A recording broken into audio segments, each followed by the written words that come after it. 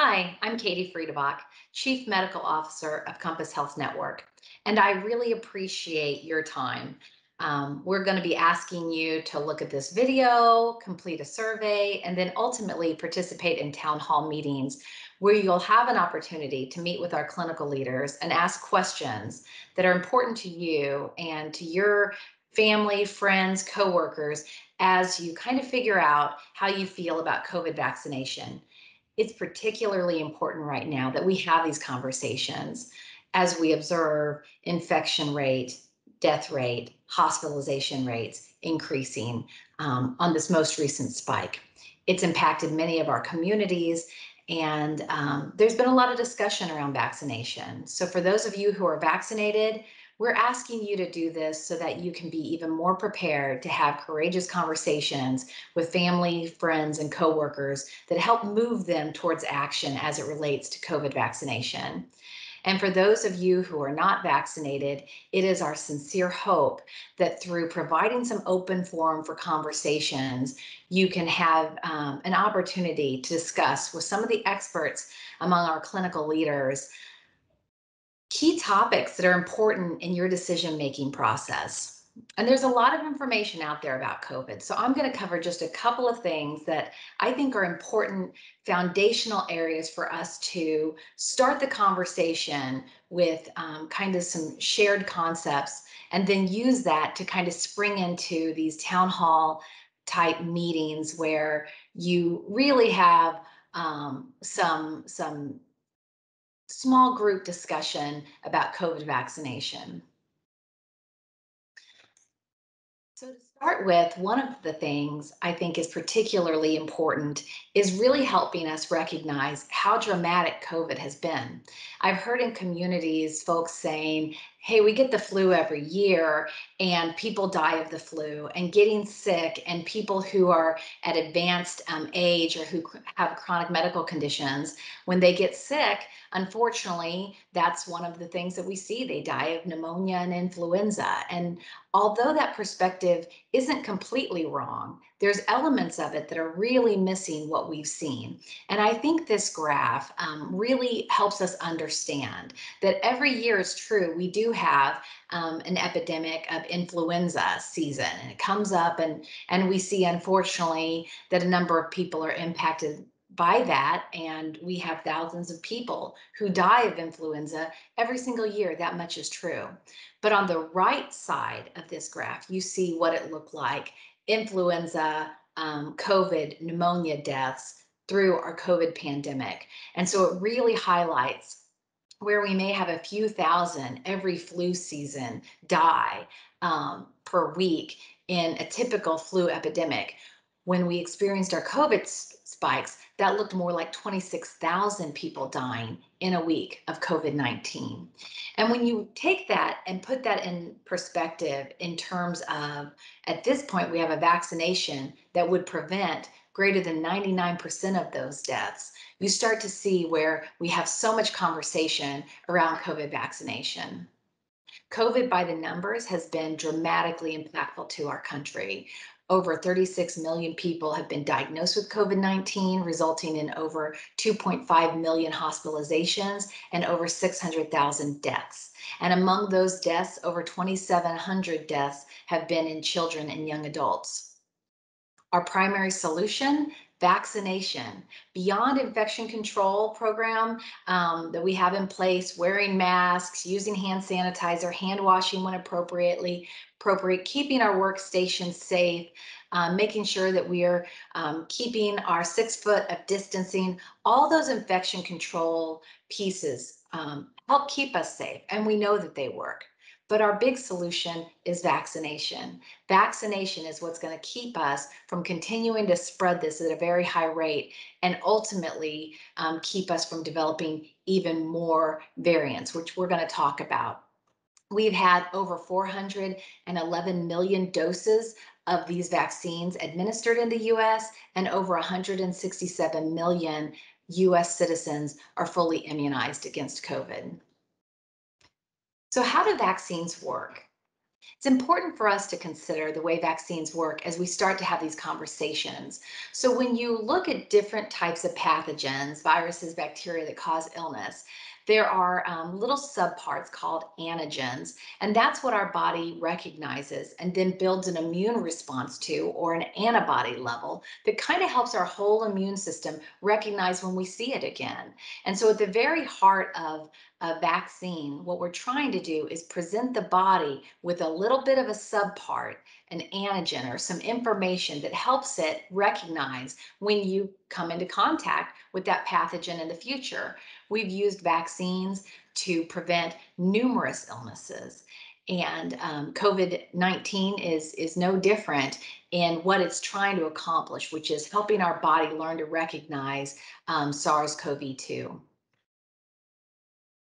but our antibodies are part of our antibody of our immune response our immune response is made of a couple of different types of cells and ultimately it's the way our bodies spring into action and keep something from progressing and making us even sicker primary um, antigen challenge on this slide is kind of science speak for the first time you ever encounter a pathogen. So when you think about little kiddos, they are little um, get sick a little bit easier than um, teenagers and adults because they haven't had exposure to all the different pathogens, viruses, bacteria, things that we get exposed to um, in everyday life. And so their immune system isn't quite as sophisticated. And when you have a primary antigen exposure, COVID 19 is an example of this, something our body hasn't seen before. It takes about seven to 10 days for our body to kind of ramp up. And during that time is when we would typically start to have the symptoms of feeling sick. The next time we get exposed to that um, that antigen, our body is sophisticated, ready re- to respond, and it very quickly sets into motion our immune response, coordinated among a couple different cells type cell types to help protect us from getting advanced um, illness and hospitalization and ultimately death. So, what we're really trying to do with vaccines is give our bodies the information our immune system needs to work very effectively without us ever having to get sick. And when you think about the risks involved with COVID and the fact that we've had over 600,000 people die of COVID, and we have a vaccine that prevents death greater than 99% of the time, it really starts to become a stark reminder that if those over 600,000 people hadn't had um, to go through that infection, they'd still be alive today. If we could have given them a vaccine and they wouldn't have had that what we really consider vulnerability. My immune system doesn't recognize this. It doesn't know that it needs to to rid the body and, and defeat this pathogen.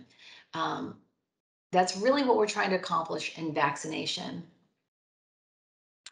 mRNA vaccines um, work in a very um, targeted way with our own body cells.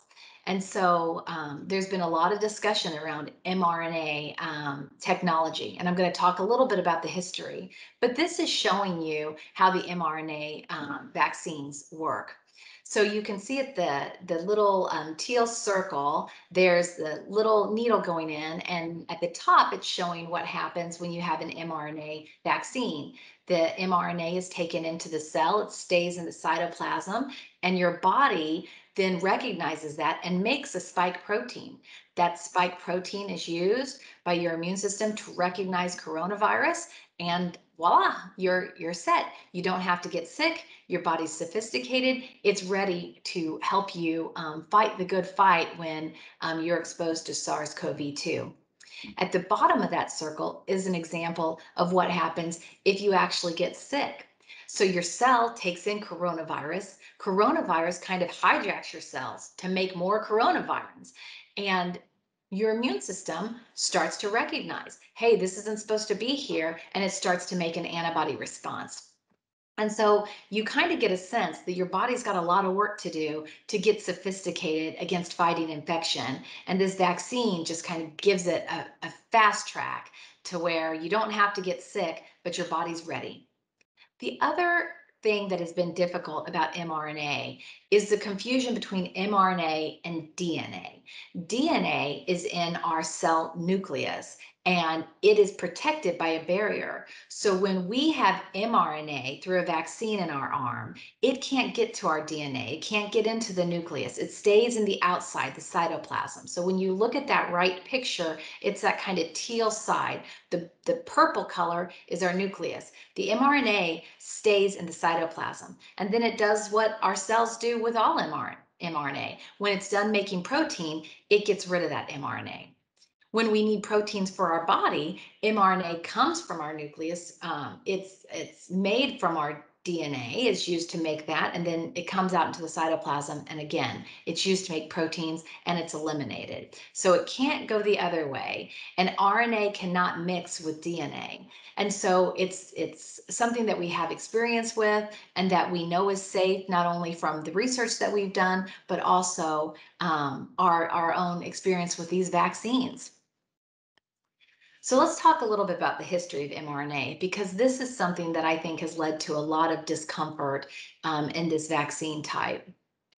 mRNA is not new technology for us. We've been working with the technology used for these vaccines for over 30 years. And this timeline highlights not only those key milestones that put us in position to have this vaccine so quickly, but also, also the scientists who have dedicated their lives to developing this science.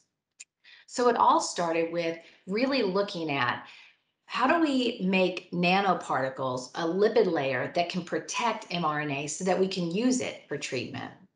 And then you fast forward a little bit further, and they're looking at specific ways mRNA could be used to educate our immune system Interestingly enough, you can see Dr. Corbett here in, um, let's see here, it looks like it was about 2014, started working specifically on how mRNA could be used to help our bodies recognize the spike protein. The spike protein is unique to coronaviruses, but we've seen coronaviruses before. SARS and MERS both caused epidemics. And that's what really inspired Dr. Corbett to start working on how can we use the spike protein to teach our bodies how to recognize coronaviruses so that we don't have another SARS or MERS. And it put us in a great position to develop a vaccine, vaccine that's highly effective for our um, SARS CoV 2, which is also a coronavirus. The other thing I think is really inspiring is when you think about the way we use 30 years of technology to really inform these vaccines. We also had a, a very high level of focus by these scientists. All the scientists pictured um, at the bottom of the screen were working on other items and they shifted their entire focus over to developing and testing the coronavirus vaccine. So you had scientists that were working on mRNA technology for influenza and Zika, and they shifted it right over. We know that COVID 19 vaccines are safe. We know that because we did clinical studies and enrolled thousands of participants that really were trailblazers in terms of helping us understand how patients might feel when they get this vaccine. We understand what side effects um, folks have experienced. And in large part, it's a little bit of a sore arm. You may have a little bit of redness where you got the shot. It's not too uncommon for people to feel maybe a little achy, might be sick, maybe a little tired. That usually lasts just a couple of days. The majority of people don't have those symptoms. But if you do have those symptoms, it's not unexpected. And quite frankly, we have those types of symptoms with every vaccine we give. Again, think back to those kiddos that get all the vaccines. It's very common for them to run, a low grade fever. We give them a little Tylenol and ibuprofen to kind of get through that. That's really the body's reaction and response to a vaccination that would be expected. And so we saw that with COVID. We also saw a couple of other serious side effects that um, were perhaps less expected anaphylaxis is one, and that's one that we we could have um, clearly anticipated, and of course we found it. Anaphylaxis is something that happens um, very rarely in some people. It's a severe allergy reaction. Not only do we have it to vaccines and medicines, but some people have it to foods like peanuts. Um, anaphylaxis is something that we recognize and we know how to treat. Um, and it's the main reason why you hang around for 15 minutes after your injection, because we're looking to see if you have any signs or symptoms of anaphylaxis so we can treat it. Two other very rare side effects of COVID vaccination that we discovered. Um, one is TTS, thrombosis with thrombocytopenia um, syndrome, and that occurs about seven per 1 million doses. And it really highlights the effectiveness of our safety monitoring for these vaccines. We have had the most aggressive safety monitoring system in the history of US vaccine monitoring and we found this needle in a haystack. When we learned about TTS, you may remember it hit the news. It was it was a hot topic. We actually stopped administering this vaccine so that our scientists could really look at the data. And what they found is no men developed TTS. And this side effect was exclusively um, noted to be higher in women ages 19 to 49. And so um, with that recommendation, we're able to say, hey, we've learned that really if you're a female less than 50, you you have other options you might consider. This is specific to J&J and Janssen. This side effect has not been observed in Pfizer or in Moderna. And so through the safety monitoring, we were able to identify this many months ago, communicate it to doctors and to patients, and to help people make informed decisions. Another side effect that we've um, noted is pericarditis and myocarditis risk in children and young adults. This again is a side effect that we have evaluated. Um, we have a specific committee that looks at all the science around these types of side effects and doctors are required to report these types of side effects anytime they're in proximity to a vaccine, a COVID vaccination that's administered. So we are monitoring um, and know a lot about the incidence of this side effect. Myocarditis and pericarditis are inflammation of the heart and the lining of the heart. And the vast majority of folks who develop this recover completely. It's inflammation in response to some trigger. And in this case, it would appear that the risk is slightly elevated um, when you get Pfizer or a Moderna shot. This um, risk is higher in young men um, compared to young women. And um, for a little bit more detail about each and every case and how the risk breaks down, um, you can access the video link that's specific to that topic because it's really important as you consider benefit and, and risk that you get into all the details. So if you have a kiddo that's in this age group and you want to learn even more about it, there's a great bit of transparency out there and you can hear, um, you can listen to the meetings and you can read all the reports. Um, and, um, you know, at the end of the day, when you compare that very rare risk, um, less than 60 per million compared to the 2,700 children that have died and over 4,000 children who have had um, um, more serious sequela from COVID-19. That's how we really look at that, that benefit versus risk and um, recognize that although it's a very rare side effect, it is slightly increased in this, this age group, but we expect full recovery. And it's a risk we're willing to take to save 2,700 children from losing their lives. And that's, that's really what it comes down to. So ACIP is the committee that really helps us understand when we should provide vaccinations and what the benefit and risk of vaccination are for any given population. And I wanted to talk a little bit about ACIP because it's a committee that really reflects our entire nation. Um, sometimes these recommendations feel very disconnected from what we're seeing in our communities. But in fact, ACIP is a committee with 15 members, and two of them are from our backyard. We have an OBGYN that works at KU Health System, and we have a vaccinologist who works at St. Louis University. And as you can see in this slide, um, they really represent um, every area of our country. And there are numerous um, specialties that are represented, and these are all physicians. And so this is a committee that physicians um, are not paid to be a part of. And so when you think about um, your life and the lives of your children, all of the vaccines that you've received have been approved and the recommendations come from this um, committee. The FDA approves the vaccination, and then ACIP is the committee that approves the schedule or who should get the vaccine and how often they should get it and and sends all of that out so I have been um, following ACIP recommendations my entire career. Um, your physician has been following them as well. And so when you consider who's recommending this vaccination to you, it is a bunch of physicians that have looked at all the information um, and they're and they're recommending um, the the the best um, guidance that they can see to promote your health and well-being. I want to also talk about what's in the vaccine because there are some um, ideas out there that just simply are untrue. The idea that you would have a microchip in, in this um, vaccine is um, absolutely 100% false.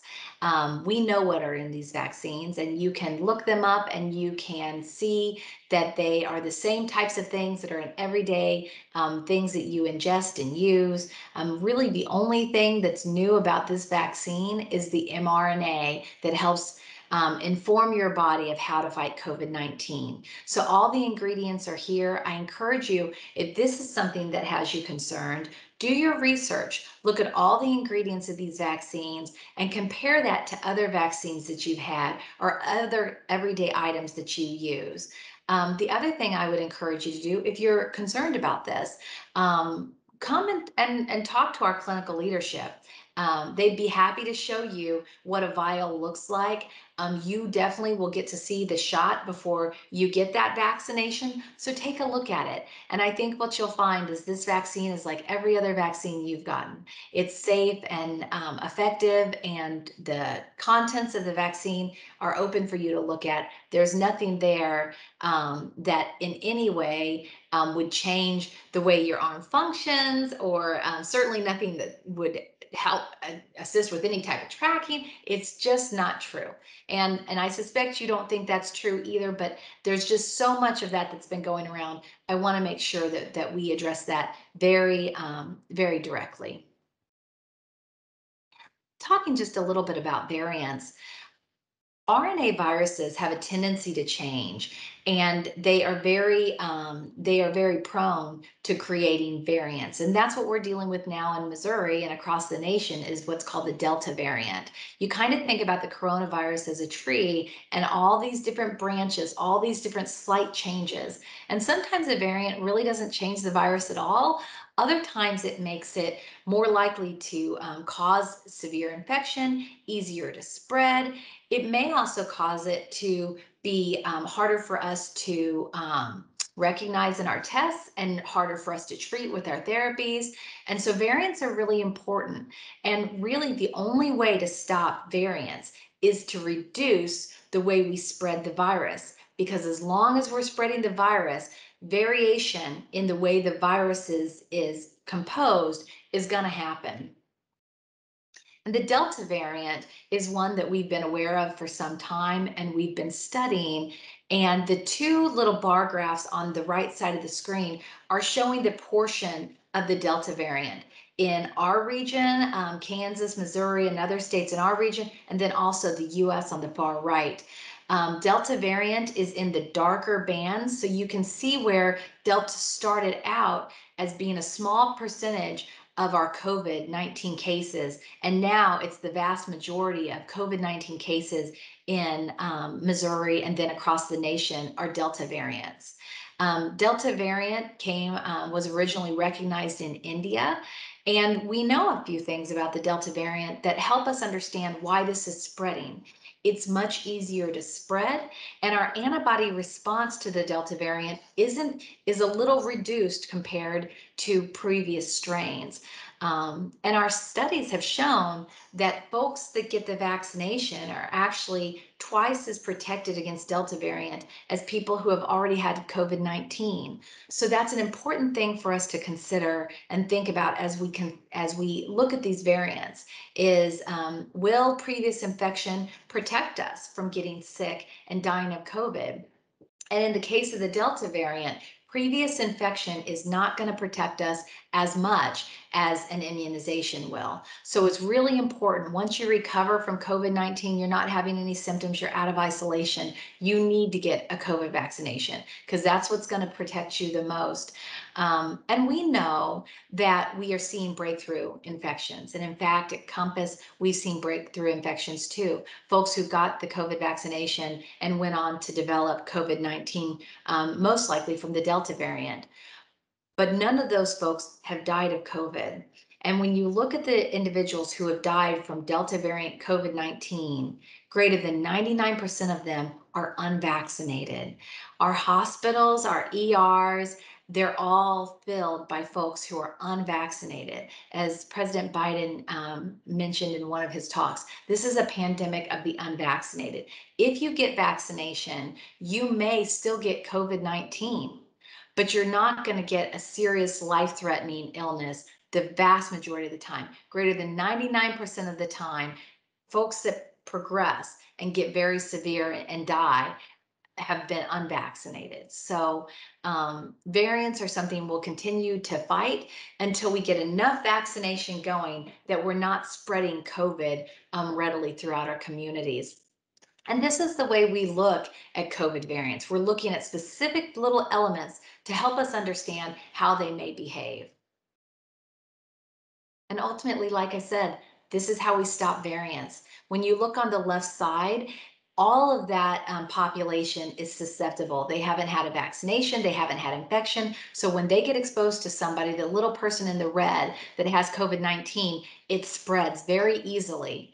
On the right side, all those green individuals are protected from infection and protected from infection by vaccination or previous illness. And so when you have one person that has COVID 19 and a group of those individuals, there's not as much chance to spread it and have serious illness. And that's how we how we how we fight the variants is we stop the spread. And part of it's through vaccination. Vaccination although there are breakthrough cases you're less likely to get infected if you have vaccination. Um, so we we help through vaccination but we also help through wearing masks washing hands, using hand sanitizer, keeping our workspaces safe, and then, of course, maintaining six foot of um, social distancing to make sure that if we do have a breakthrough case and someone perhaps is asymptomatic, but they their breakthrough case they would test positive for COVID-19, that it stays right there and it doesn't spread to everyone around them. Another topic I want to talk about is the idea of COVID vaccination and its impact on fertility and how um, moms who are planning to be pregnant or getting pregnant should think about vaccination. This is a topic that has caused a lot of women a lot of uh, stress as they've considered what would be best for, for them and their plans in the future. At the end of the day, ACOG and the Society for Maternal Fetal Medicine recommend without hesitation that all individuals considering getting pregnant in the future should get COVID vaccination as soon as possible. We know that when women who are pregnant um, get COVID 19, they have an increased risk of having very severe COVID 19, and our pregnancy outcomes are worse when compared to those who have not had COVID 19. So it's so critically important for your health and the health of children you would have in the future that, that individuals wanting to get pregnant get COVID vaccine as soon as possible. When we started down the process of vaccination, ACOG was um, very forward in saying that pregnant women should have access to COVID vaccination. As of July 30th, 2021, ACOG and the Society for Maternal Fetal Medicine both strongly recommend that pregnant women get COVID vaccination because we recognize that they're at increased risk. Initially, it wasn't that there was a concern of any side effect. It was that pregnant moms were not included in clinical trials. So there was just a little bit of a blind spot. But at this point, we have had lots of moms have COVID vaccination safely. And we recognize that getting COVID 19 is a very serious proposition for pregnant moms. And we need to protect moms and babies. But this has been pretty darn stressful because there's an internet myth that there's a um, sequence of genetic code that's similar between the spike protein of a coronavirus and a placental protein. And there was this myth that there was the potential for you to get confused and for your immune system to attack uh, the placenta.